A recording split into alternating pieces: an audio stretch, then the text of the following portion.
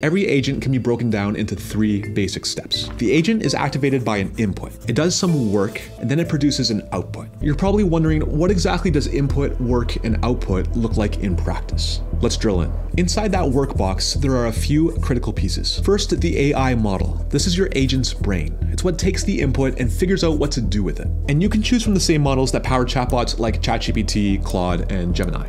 But a brain without knowledge is limited. And the thing about AI models is that they're trained on past data. They wouldn't be able to answer questions about your most up-to-date specific use case, like a website or a product catalog. So agents use something called a knowledge base, where you can add documents, URLs, or really any kind of information that the AI model can reference in the conversation.